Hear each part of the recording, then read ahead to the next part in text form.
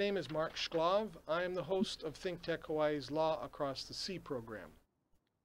Today we are going to talk with Steve Goodenow, who came across the sea to Hawaii and eventually settled into a life as a private investigator in Hawaii. Steve has just written a memoir titled Hawaiian Eye. He talks about his 50 year career as a PI in Hawaii.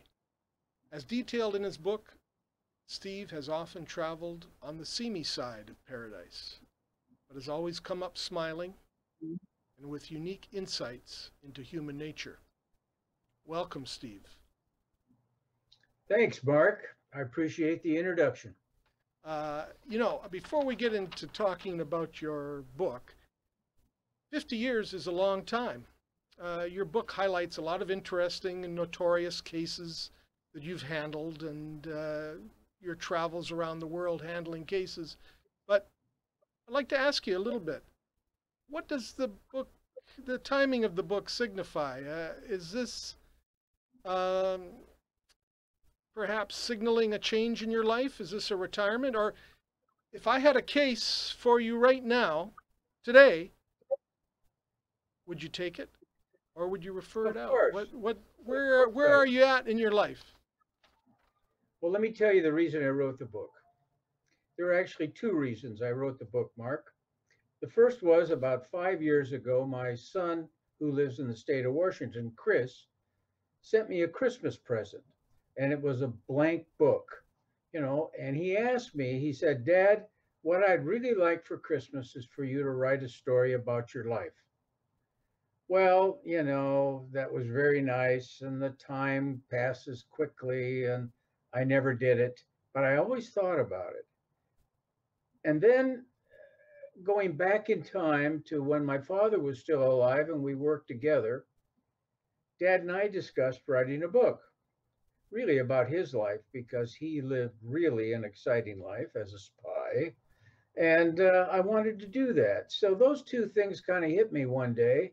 And I said, if I don't do it, I never will. Here I've done 50 years, actually 52, and it's time to do it. And I worked a big case for a, a friend of mine by the name of Duane Kurisu. And Duane runs AIO, which is a conglomerate company, and amongst the companies they own is a publishing company. I really didn't know it at the time. Well, after I did the case, Duane and his CFO, Bonnie Amamiya, who's a good friend of mine who I've known for years, kept telling me, Well, you ought to write a book. You ought to write a book. And finally, one day, they said, Go see the publisher, George.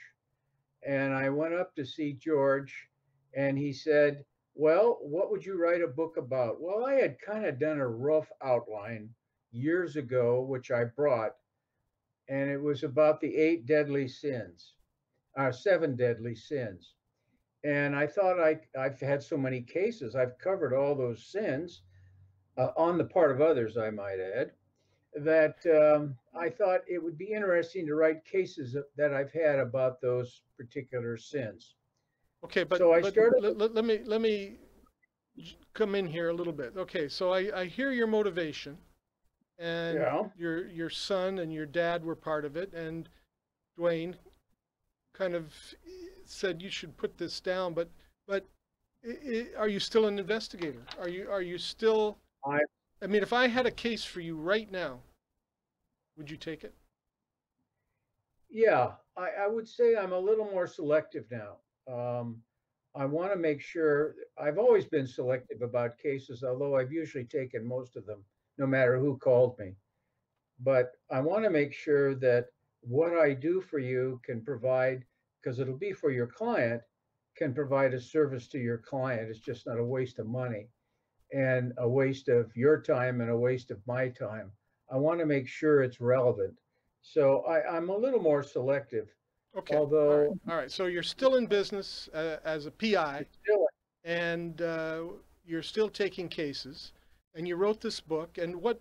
How would you describe your book, the uh, uh, Hawaiian Eye? What What's it about?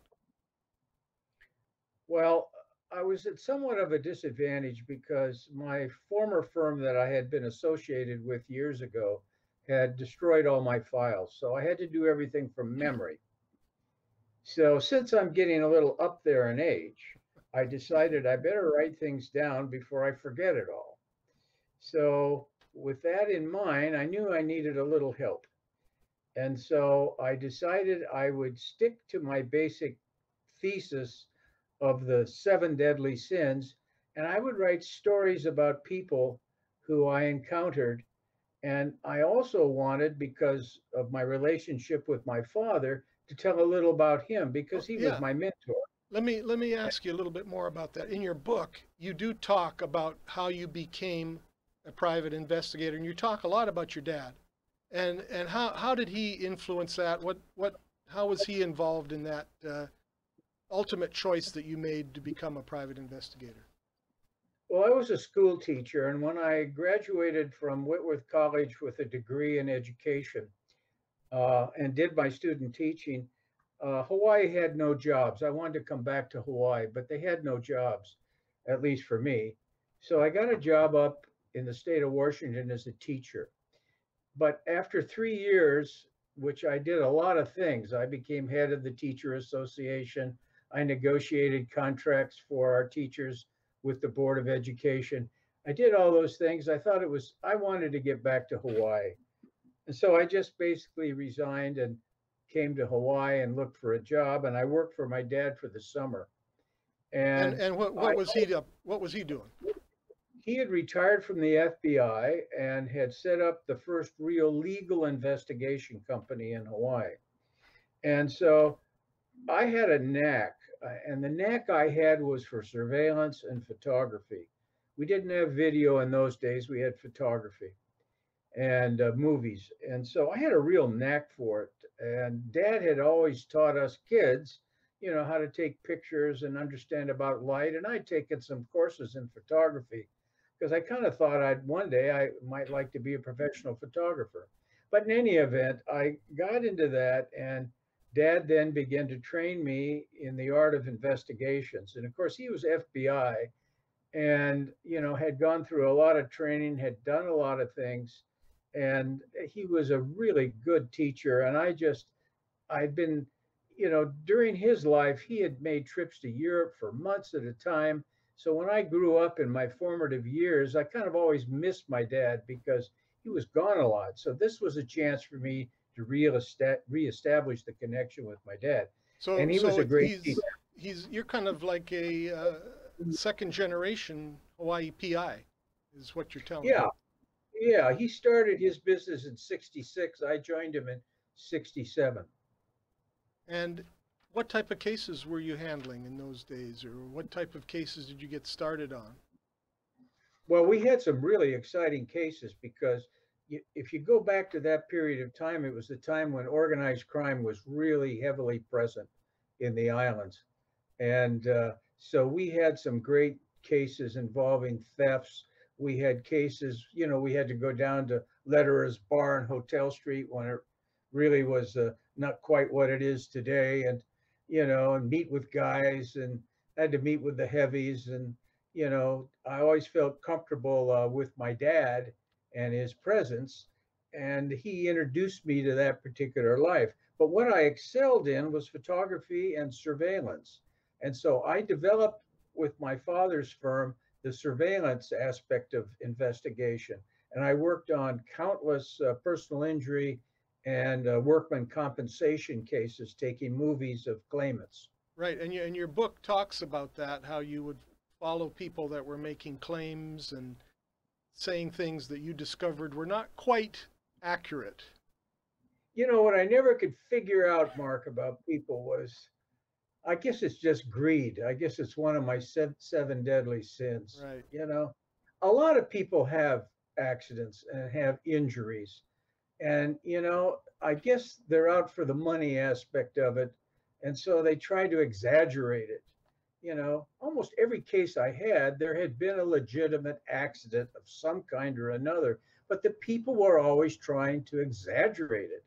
I guess to get more money. Well, in reality, they shouldn't have done that because, you know, uh, if you if you have injuries, you've got doctor reports, et cetera, et cetera.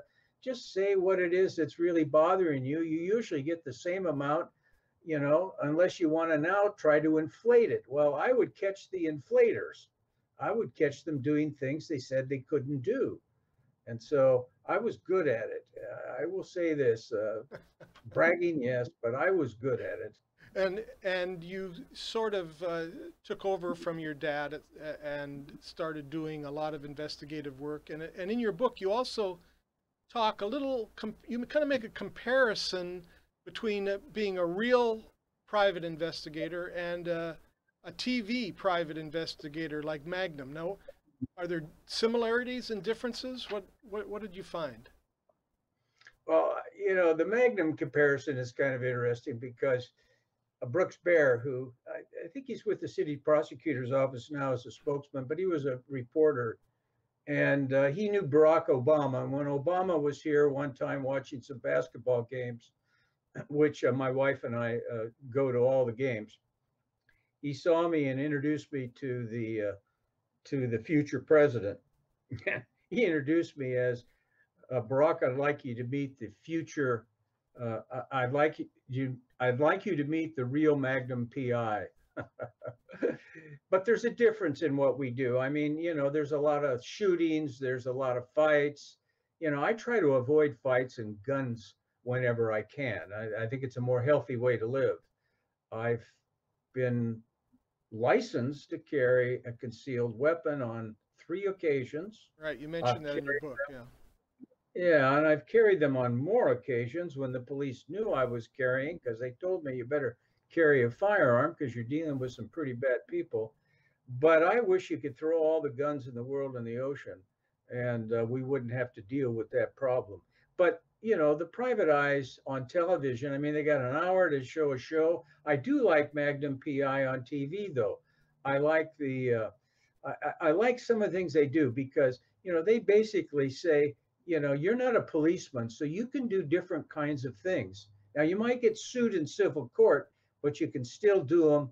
Uh, for example, I had a case once where I had to bust into a back of a guy's trunk because I knew he had stolen guns, goods in there, and I wanted to see him for myself and photography them, and which I did, and we were able to catch him. Uh, he didn't bother to sue me because he had stolen so much stuff. He had bigger problems than me. But police couldn't do that. They'd have to get a warrant. Well, I don't have to do that. And if you look at Magnum PI on TV, you see him doing that all the time. So there is a, there is a little similarity between you and Magnum PI, is what I hear you saying. Right, right. And he has a beautiful woman that he works with. Well, I have my wife, and she's a beautiful woman too. So there's that similarity. Okay, well, I, and I do want to talk a little bit about that in uh, the next part of our program. You, you know, in your book, you talk a lot about friendship, relationships, and you use the word love a lot.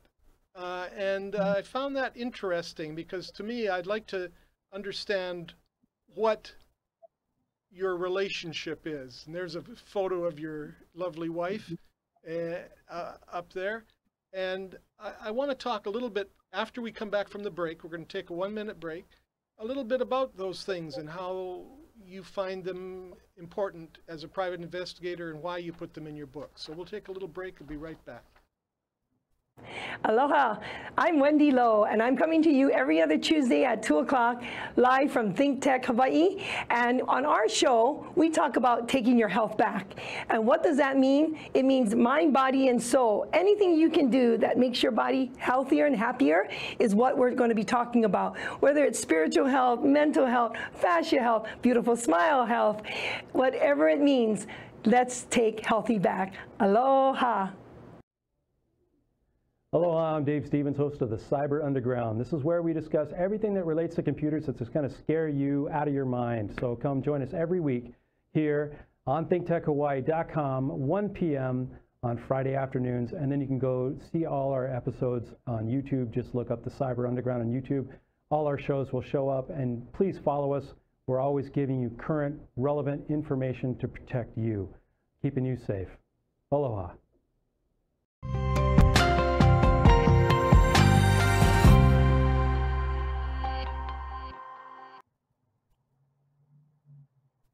Aloha! We are back with Steve Goodenow, uh, private investigator, Hawaii private investigator, who just uh, published a memoir called Hawaiian Eye.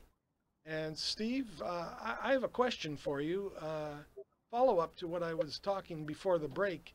In your book, I, I kind of found this interesting. You talk a lot about friendship, personal relationships, and love. I mean, you even say you love some lawyers. Uh, I found that interesting. How does that all work in with being a private investigator? Those, those concepts. What does what does personal relationships and friendships have to do, first of all, with being a private investigator? Well, Mark, remember, private investigators are just really, although we have some specific training and there's requirement to, to get a license, but we're just like everybody else. So we don't have a badge. I can't come up and show you my badge and ask you to talk to me. And if you don't, take you downtown. So I have to get people to tell me things they won't tell their own mother. And so I've developed the sense of uh, having a good relationship with people, treating them honestly, treating them fairly, and giving them credit when credit is due. Um, you have to have relationships with people. And you know, Hawaii is such a small place. You never know when you're going to run into somebody that is related to somebody or who knows someone or has worked with someone, and you may need that person more than once. So you better not burn your bridges. So that's it's, it's kind of like a strategy of being a private investigator, but also works in life is kind of what I'm hearing you say. Yeah, you know, and I'm I'm fortunate to have been raised by uh, parents that basically came out of the Midwest, out of Iowa. I was born in Iowa, and um, you know they were hardworking people. All my relatives, uh, you know, are farmers. They're hardworking people. When there's a disaster or something, all the farmers will get together. You don't even think twice about it. So building good relationships was was important to my family and it translated down to me. I think my brother and sister are exactly like that also. So, you know, you have to treat people. We learn that, you know, um, just because a person's skin is different or religion is different or they look different, they have long hair, whatever it is, it doesn't matter. It's what's in their mind and how they treat you and how they treat others that is important. So relationships are important in Hawaii, probably everywhere, I think, but really so in Hawaii. And, and you you you use the word love a lot. You know, let, let's get back to that. Now, how can anybody love a lawyer? Come on, really? hey, lawyers are my best clients. I better love them. They give me the business. you know, after all, no, I I mean I have found that uh, you know, uh, I mean lawyers lawyers go through a specific amount of training.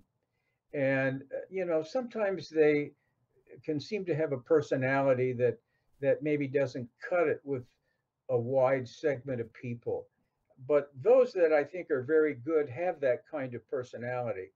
And i enjoy dealing with lawyers. You know i was set to go to law school at one point but decided not to after i got a big case and decided it was more important to work the case and go to law school I can do it tomorrow. Hey, maybe that's what I'll do in the next 50 years. But um, lawyers do a lot of good things. I mean, you know, people say they charge too much or, you know, they, they tend to complicate matters. I don't think so. I, I think life is complicated and I think they tend to sort it out overall. Lawyers that I've met, lawyers that I've dealt, dealt with. So I like lawyers. What, and, what, what have uh, you what have you learned about uh, lawyers and uh, the law in Hawaii, the the legal system uh, in your career? Well, there, well, there's a couple, couple, couple types of lawyers. I, I mean, I'll make it real simple. There are those that try to tell you what to do, and there are those that treat you as a professional and say, go do it. I like those, of course, the second group, right? Because, um, you know, lawyers, I'll give you an example. Lawyers, when they go out and uh, uh, have to get information from people, they serve them a subpoena, right? They take a deposition. I mean, how many times have I been told that people don't want to talk to lawyers because hey they ta- have to take time off for work they don't get paid for it who's going to take care of their kids and i'm the guy that goes out and talks to them i'm the guy that goes out and sees them i'm the guy that sometimes makes arrangements for them so that the kids are taken care of so um, you know i have to be the guy on the street there's a hell of a lot different between doing a courtroom deposition and there is going out on the street and interviewing witnesses. So there are lawyers that I work with. In fact, I pretty well limited it to those kind of lawyers that seem to understand that. And they allow me the flexibility and freedom to conduct the investigation as I see fit. Um, Now, in, in your book, you talk about a lot of cases and working for various lawyers. Is there one particular case that uh, you, you, you, kind of like uh, to talk about uh, in, in your book?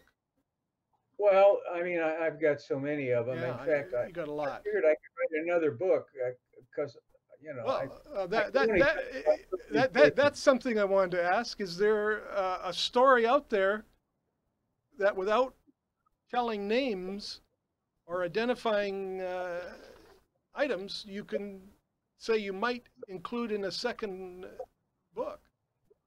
Well, I, I'm not sure about that. I have to think about it, but I can tell you this: that my my friendships with lawyers um, got to the point of where they trusted me, and so there were always lawyers that would call that had needed personal favors, and I chose not to have a bad mouth book. You know, I chose not to highlight some of the follies of some of our lawyer friends and uh, write about those. I wrote about their cases, perhaps, but not about the favors I had to do for lawyers. Hmm. Lawyers, problems with their kids, lawyers, problems with their spouses or girlfriends, uh, you name it. Um, relatives that had problems that I've helped out, Manawahi and I, I've, I've done that. And I just think that's the nature So of my business. that is perhaps a book that uh, will never be written, I, I hear you saying. Well, it'd be interesting to write the book. You know, look, when I was a kid, I thought sacred were ministers, lawyers, doctors, you know, those kinds of people, right? I thought they were sacred. As I went through life, I found they all have problems. They're no better or worse than me. Well, is one- that uh, is that what you've learned? I mean, from being a private investigator, is is that what you've learned about life and human nature? Is, is or what what what have you learned? if you don't learn anything, you better learn. You better not get into the problems your clients get into. you know, people drink too much, people use drugs, people steal money. You know, it's best to avoid those problems. And if I've learned anything, it's that I'd rather be investigating you than you investigating me. well, let, let, let's say you have a young lawyer or a, a, young person, uh, not a not a lawyer, but a, a young person in front of you, and they're asking you, uh, uh, Uncle Steve, uh, I'm thinking about becoming a private investigator. What what is your advice to that young person? Well, I said, I guess I would tell them, um, you know, don't do it for the money. If you if you do it for the money, you'll never be successful. Do it because you have an inquisitive nature. Do it because you like people. Do it because you want to solve a puzzle. Um, I used to have an advertisement which was a puzzle because I think that's what we do. We we put puzzles pieces together to come up with a picture. And so do it for those reasons. You could stay in the law. I think a lawyer would make actually a good investigator. But you have to learn to use different tools. You don't have the tool of the subpoena. You have only the tool of your own mind and your wit and your ability to talk to people and convince them to communicate with you. Personal Um, relationships is kind of Personal you're saying, yeah. relationships, yeah. Right, right. I remember I've had a I've had a lot of theft cases. And I you know, maybe there's a couple exceptions. Maybe I tend to forget them, but almost every case, when I've finally gone through and I've got that person to convince to confess their theft, you know, I always tell them this, you know, today is going to be the best day of the rest of your life. Sounds kind of trite, doesn't it? But I mean it because you've been carrying this burden of this theft for so long and now you don't need to carry it anymore. You've confessed your sins and it is time to move on. There may be consequences, but yet you will now live a life where you don't have to worry that you're going to be caught, you know, doing the theft. And I've had I've had so many people shake my hands, give me a hug, and tell me thank you, you know, for finding out that they were the thieves. You know, I Yeah, mean, so- that, I- that, I- always amazes You, me. you, you do cover that in your book too about several uh, incidents that uh, that occurred, and it actually helped change their lives by being investigated, uh, by by you finding out the bad things they did and the, the sort of the seamy side of their lives, and they were given an opportunity to to change. And that's kind of what I hear you saying. I don't want to give the book away, but read the. I think the last chapter. I think there's a chapter in there about my favorite cases, and Right. the last last chapter it made me cry. and uh, I had a fella read the book, and he told me, you know, he said I read that last chapter and I cried too, because it's a story of relationships. It's a story of love, and um, how love triumphs all. But anyway, I won't give it away. Okay. Well, look. Read it. We have we have about one minute left. Uh, where can people get your book? Uh, are you you doing a book signing or anything else Yeah. coming up? Uh, Yeah, I'm going to be at uh, uh, Barnes and Noble at one o'clock on this Saturday, the 11th, and signing books. There was a problem with the cover of the book, so they had to send it back, and I don't know, it was supposed to be in a matte finish or something. So they'll deal with it, and eventually it'll be on Amazon, and um, you know you'll be able to get it there. Hopefully in a Kindle, because I'm a Kindle guy. Hopefully it's there, and you can contact uh, Watermark Publishing and uh, Watermark Pub Watermark Publishing will send you the book, so they have it there too. okay. Well, that that's great. And you know, Steve, thank you for being my uh, guest today. Very happy. I read your book. I enjoyed it. Uh, saw heard a, a lot of names I knew, uh, and I don't want to give anything away either. And uh, look forward to uh, seeing you on the street, but not being investigated by you. So, aloha. Well, Mark, we've had a couple of cases together that could be in the next book. All right. Looking forward to it. Thank you, Aloha. Mark. Thank you.